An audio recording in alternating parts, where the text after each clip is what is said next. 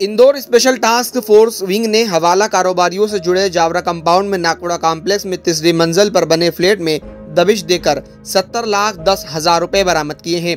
मौके से पुलिस ने सात आरोपियों को हिरासत में लिया है, जहाँ हवाला से जुड़े कारोबारियों ने फ्लैट के दीवार में गुप्त चेम्बर में इन रुपयों को छुपा रखा था। इंदौर स्पेशल टास्क फोर्स विभाग ने मुखबिर की सूचना पर छापामार कार्रवाई कर जावरा कंपाउंड में नाकोड़ा कॉम्प्लेक्स में तीसरी मंजिल पर बने फ्लैट में दबिश दी। जहाँ हवाला कारोबारियों की सूचना थी। काफ़ी सर्चिंग के बाद टीम हताश हो गई। वहीं बानी एक दीवार में कुछ टीम को अजीब लगा, जहाँ चेक करने पर दीवार के अंदर एक गुप्त चेम्बर नज़र आया, जो एक स्पेशल स्केल से चेम्बर का दरवाज़ा खुलता है, जिसे खोलने पर हवाला कारोबारियों ने गुप्त चेम्बर से सत्तर लाख दस हज़ार रूपए छुपा रखे थे, जो पकड़ाए गए। आरोपी सुरेश सोलंकी, राजेंद्र, अजय, मेहुल, महाप्रसाद पद सिंह, दशरथ और विजय को हिरासत में ले लिया गया है। सभी गुजरात के रहने वाले हैं और हवाला का कारोबार करते हैं। एसटीएफ पुलिस को एक स्पेशल जैकेट भी मिला है, जिसमें रुपये को छुपाकर रुपयों को इधर उधर ले जाया जाता था। फ़िलहाल ये रुपए किसके हैं और इन हवाला कारोबारियों के तार कहाँ जुड़ रहे हैं, इसका पता लगाया जा रहा है। हवाला कारोबारियों की गिरफ्तारी के बाद पुलिस ने रुपयों को जब्त कर इनकम टैक्स विभाग को इसकी जानकारी दी है।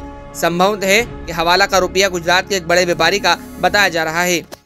एस टी एफ़ इकाई इंदौर को एक उल्लेखनीय सफलता हासिल हुई है, जिसमें सूचना प्राप्त हुई थी कि जो नाकोड़ा कॉम्प्लेक्स है, जावरा कंपाउंड में, वहाँ ये हवाला का कारोबार हो रहा है। उक्त सूचना की तस्दीक की गई और सर्वेलेंस इत्यादि की गई और वहाँ दबिश दी गई।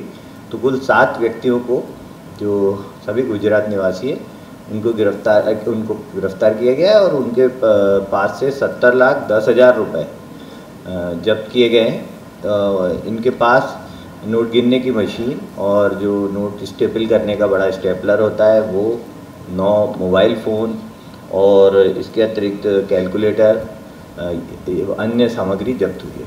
कितने समय से पता था क्या कुछ कहानी अभी प्राथमिक पूछताछ में उनका कहना है कि दो तीन महीने से कर रहे हैं। जो फ्लैट है उस फ्लैट में एक रूम में सीक्रेट चैम्बर भी मिला है जिसमें कि कुछ वो स्केल आदि डालते थे तो वो स्प्रिंग से वो एक कंपार्टमेंट का गेट खुल जाता था।